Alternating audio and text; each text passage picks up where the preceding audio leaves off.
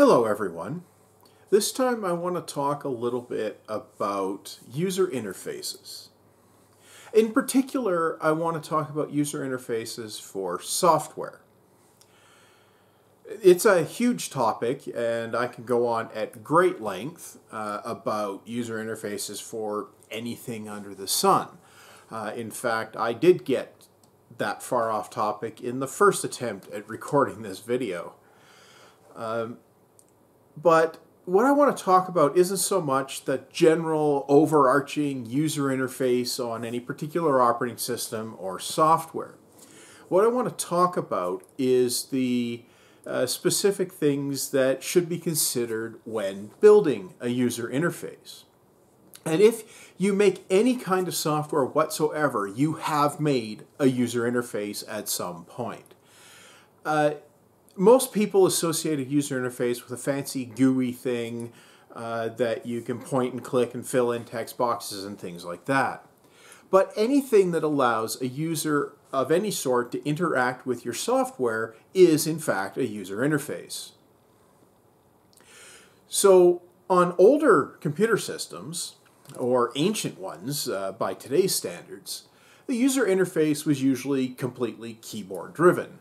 Uh, usually it was commands typed on a keyboard that then the, the computer then went ahead and did something with. And that type of interface actually persists today, and it exists even on your fancy Windows 10 uh, PC on your desk, and it's even there behind the scenes on your Android phone, and there's probably one behind the scenes on your iOS device if you have an iDevice somewhere.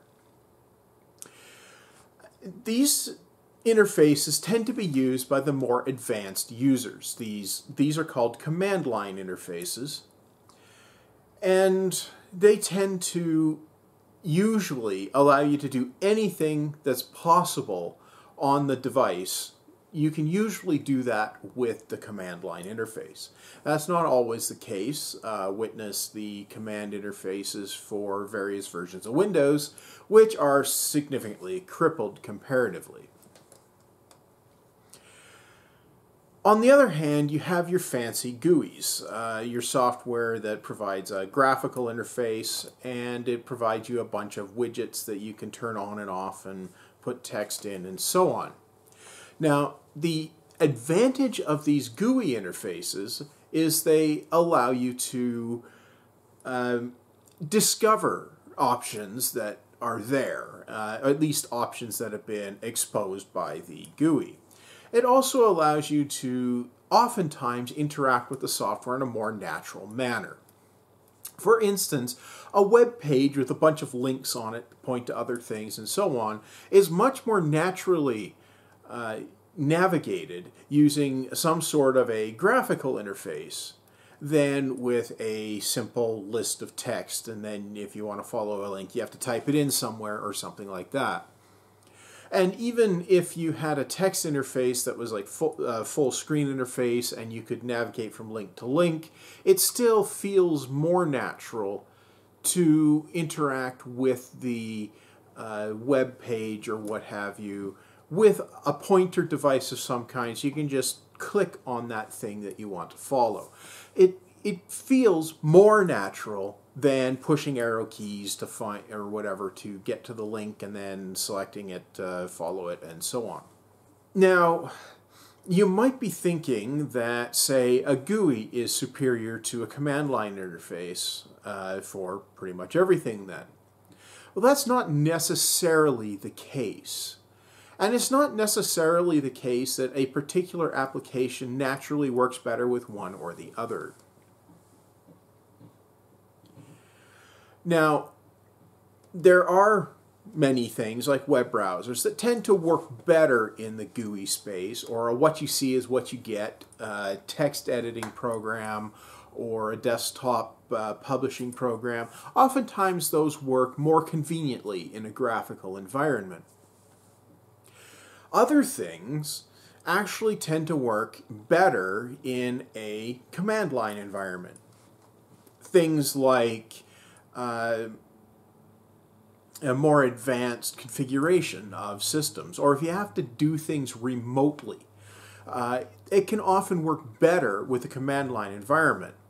Uh, one of the chief advantages of doing things remotely through a command environment instead of a graphical interface is far less traffic has to go between you and the remote device to actually accomplish what you're trying to do.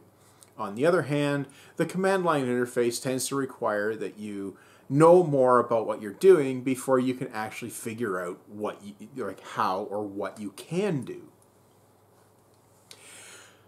Now, there are con- concerns that should be addressed for any kind of a user interface for any software that these apply uh, regardless of the uh, type of interface that you're going to use or even the kind of software. One of the important things is you need to identify what types of interactions people will need to have with your software. Often, figuring that out will identify what kind of an interface makes sense.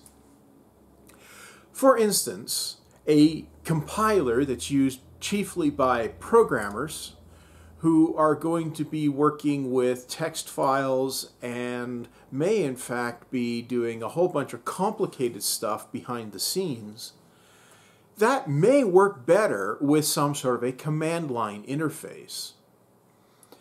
On the other hand, uh, a scheme for configuring the options for how uh, Windows display on your desktop computer is almost certainly going to work better with some sort of a graphical interface. So what you're trying to accomplish will in fact inform the type of interface that you need to create. But in, in many cases, it doesn't really matter uh, you could provide a command line interface, or you could provide a full screen text interface, or you, a, you could provide a GUI interface, and all of that would be roughly equivalent. Uh, they have their strengths and they have their weaknesses. So, what you need to identify is what aspects of the software are likely to be needed in various environments. You might provide multiple different interfaces for different environments if you expect your software to be used in multiple environments. In fact, depending on the software itself, you might actually build your core software with a command line interface and then add an extra program that serves as a graphical interface to that lower level command line program. And that's actually more common than you might think. A lot of the major things that you see on your screen uh, when you're messing about with your uh, computer or your, your operating system or whatever, you know, when you're configuring things or whatever, a lot of that stuff is actually a shim over top of a lower level scheme that uses configuration files and command line interfaces and so on to uh, make things happen. Now, regardless of the specifics of the uh, interface, like what type, you have to consider carefully what you expose and how you expose it. Now, by expose, I mean make it available in that particular interface. Just because your low-level program, the command line uh, interface program, uh, supports 700 options that you can pass to it, that doesn't mean that all 700 options have to be prominently present immediately on the uh, interface you provide, whether it's a full screen text interface or, or a GUI or something like that.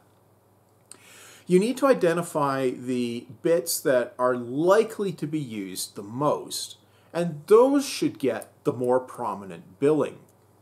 But that doesn't mean you should leave out the more obscure options.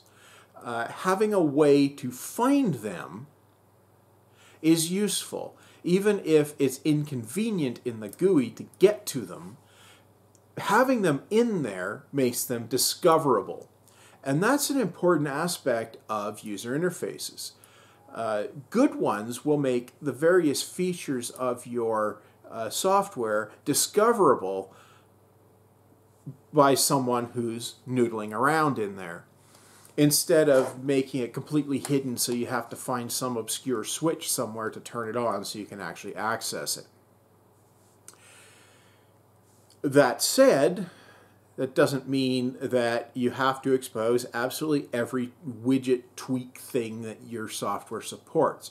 There will be some things that are only applicable to the software developer for debugging purposes, for instance, or for troubleshooting purposes, things that are not normally going to be needed at all.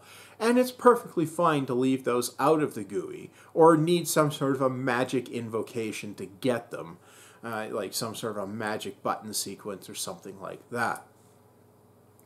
But anything that the user might conceivably wish to tweak or modify or switch around should be in the GUI or the text scheme or whatever scheme you have. If it's not, then you've artificially hamstrung a large number of your users.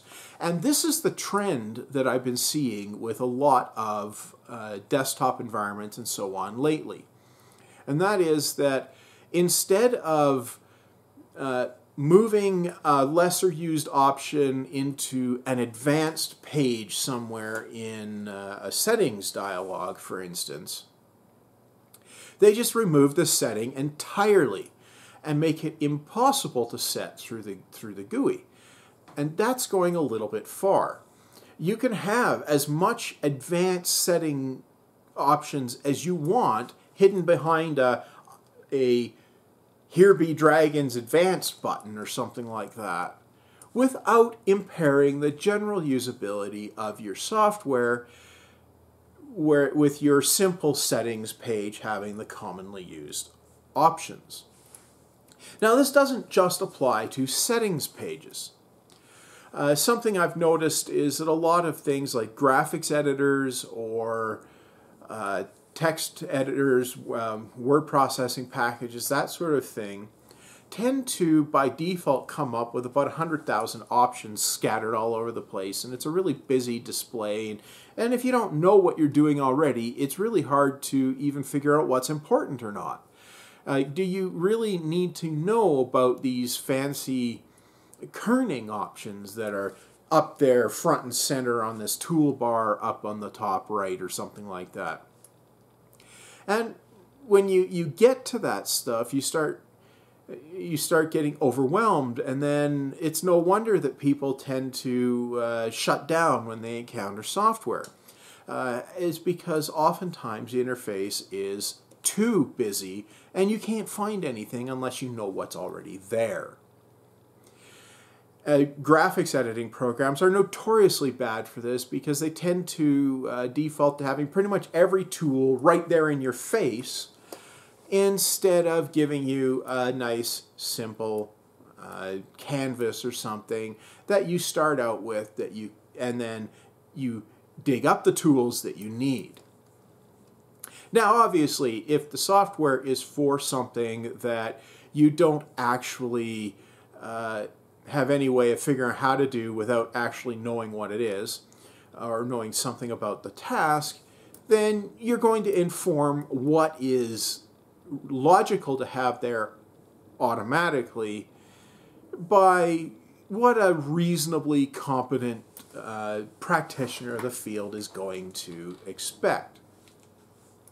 So, for instance, a video, a nonlinear video editing uh, program is likely going to have some sort of a timeline and some uh, some number of tracks or something like that, and it's going to have some sort of a preview video window or and, and things like that, a list of available assets, uh, that sort of thing. And then it's going to have some controls for adding assets and setting up filters and so on. And that makes sense. Um, and most of the ones I've encountered are approximately that way, and you can generally make heads and tails out of them. At least if you have some idea what you're doing. A few, though, tend to make things far more complicated than they need to be. And that is a common complaint. Now, Microsoft obviously recognized this at some point when they brought out their ribbon interface, which substantially reduced the clutter in the user interface for their most of their software. Now, the problem with the ribbon interface, I think, is that it goes a little bit too far, and that it removes just a little bit too much from obvious immediate discoverability. But it doesn't completely remove the ability to find these, these options, and that's an important distinction. Those menus and so on are still there. They're just hidden behind another click to get to them, and it's uh, it's not clear that it's necessarily a poor design decision. It's just that uh, some of what they've chosen to expose by default may be less than ideal, uh, or maybe less things than maybe they should have. But still, it re reduces the visual clutter, and that actually is a generally good idea. Now, that doesn't mean I happen to like the ribbon uh, scheme. I don't, uh, and that's a personal preference. Uh, but I can't say that it's totally non-functional or that it's a really stupid uh, choice. Uh, it does, in fact, work. And as long as the settings in, and things that you need to find are in there, then it's generally okay from the perspective of this point. So that's an important thing. If you're building an interface of any kind, you need to consider what are the important tasks that people are going to be doing with your software? Like what's the primary purpose of it? Don't obscure that with your interface. That, that's a key point. So like with uh, Word, Microsoft Word, uh, with the ribbon interface, you've got your, your editing canvas right there front and center. So it's pretty clear uh, where the thing that you, you need to operate on is. And even with their previous cluttered interfaces, it still, the canvas was the big chunk of the screen. Uh, so that made sense. You also need to make sure that the common functions that people are going to use are at least discoverable reasonably quickly. And it's also good to make sure that that uh, you don't have too much stuff there. And given that for a non-trivial software package that has not a non-trivial number of operational modes and things you might do, like a word processing package, uh, you might want to make your basic interface configurable so that people that are using, uh, I don't know, uh, tables all the time can put that in their shortcut bar or whatever. Whereas people that never touch a table in their life can leave that off of there and put something they do use.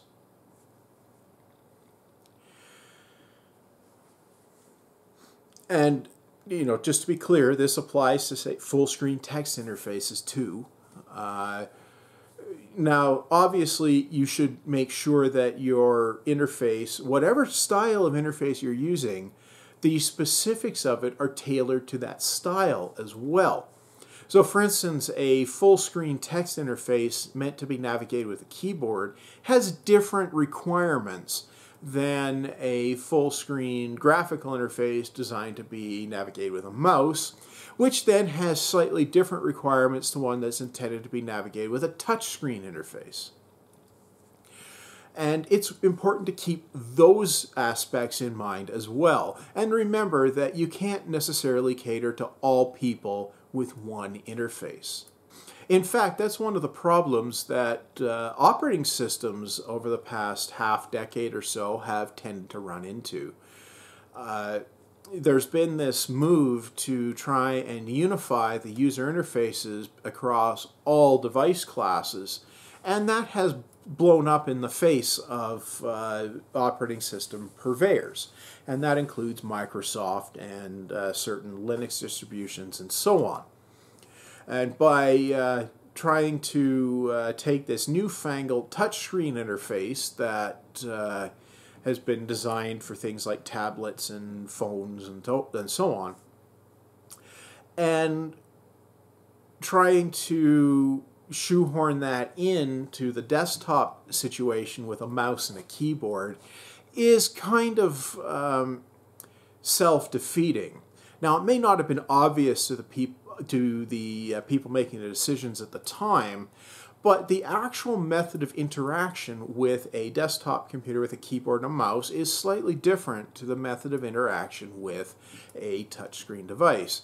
And that means that the uh, design decisions that work really well on a touchscreen device work a lot less well on a desktop machine that may have a, a large monitor and a proper keyboard.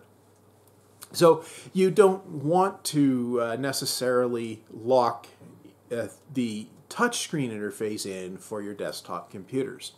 Some people might find that perfectly fine, but uh, there's a reason that the desktop interface, the classic interface with icons and start menus and, and mouse pointers and so on, uh, has persisted as long as it has, and that's because it works pretty well uh, for the desktop interface. It definitely doesn't work particularly uh, ideally for a touchscreen interface, and that's why these touchscreen interfaces have come along. So that's an important consideration is that uh, if your software is intended to be used in multiple use cases on multiple classes of devices, you need to think carefully about whether you need to have multiple different interfaces for it.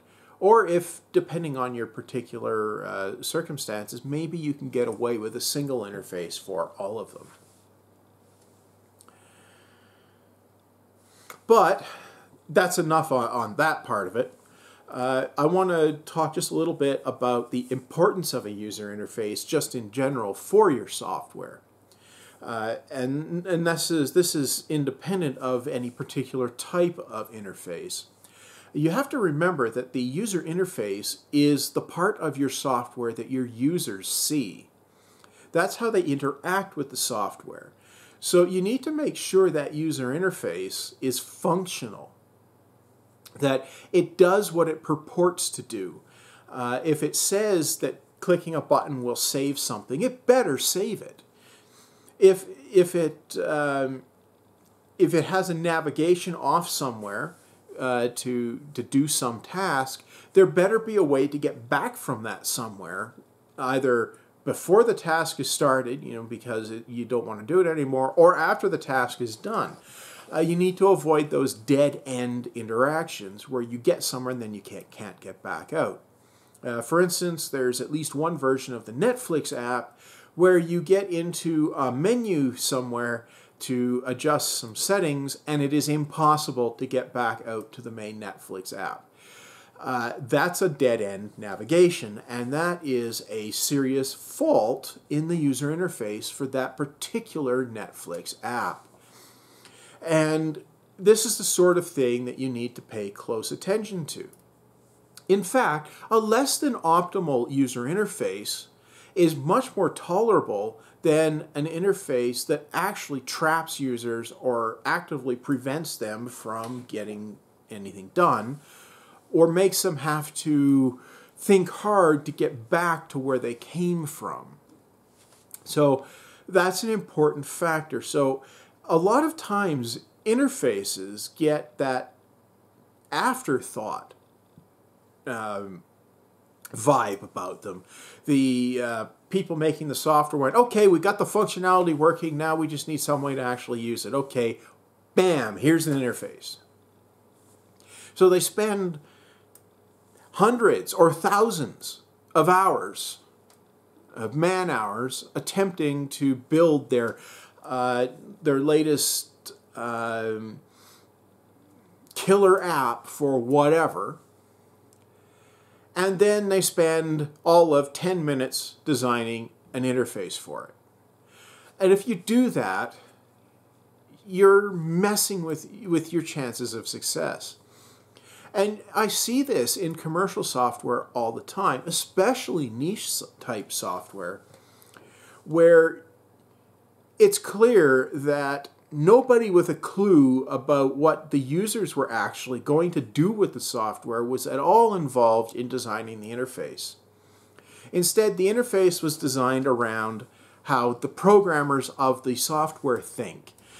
And as a result, if you don't understand how software is implemented, you can't figure out how the interface works.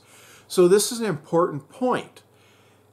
The user interface is the part of your software that your users see.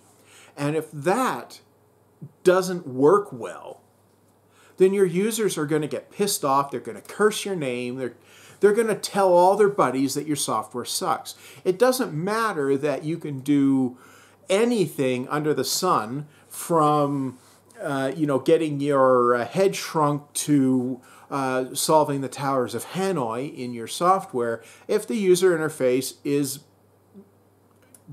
bloody awful. And I'm looking at you, Emacs.